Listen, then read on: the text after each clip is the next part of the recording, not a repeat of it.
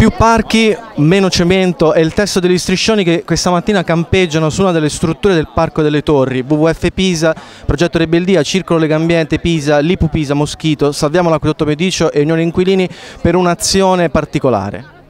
Certo, è più parchi e meno cemento. Questi striscioni denunciano lo stato della città che è abbandonato ai cementificatori e noi a questo ci vogliamo opporre perché queste torri, il Parco delle Torri è solo l'ennesima colata di cemento, mentre quello che vogliamo noi sono, per la città sono dei parchi. Ancora una volta si usa la parola parco come tante altre legate all'ambiente un po' a caso, un po' per nascondere altri interessi e altri obiettivi. Noi siamo qui oggi per contestare questi, questi stessi obiettivi, cioè quelli di costruire sempre nuove opere in cemento e acciaio nella città, ma soprattutto e ancora di più eh, siamo qui per rilanciare invece l'importanza della parola parco e, e dargli un significato concreto. Proprio di fronte a queste due torri c'è una grande area verde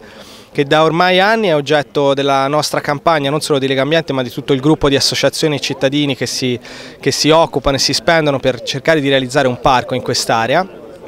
e oggi vogliamo dare inizio, un inizio concreto a questa campagna. Siamo in attesa, stiamo cercando di dialogare con le istituzioni perché sia previsto anche nei piani urbanistici la realizzazione di questo parco in modo concreto, però oggi vogliamo cominciare, mentre aspettiamo che le amministrazioni decidano noi cominciamo insieme ai cittadini a prenderci cura di una grande area al centro della nostra città e realizzare un piccolo parco. Oggi un, un, apriremo un sentiero, un sentiero percorribile da chiunque in mezzo al verde, in mezzo alla natura, con delle panchine, con delle piante, con degli alberi per cominciare a restituire alla città un, un pezzo di, di verde, di parco troppo prezioso per essere abbandonato per tutti questi anni.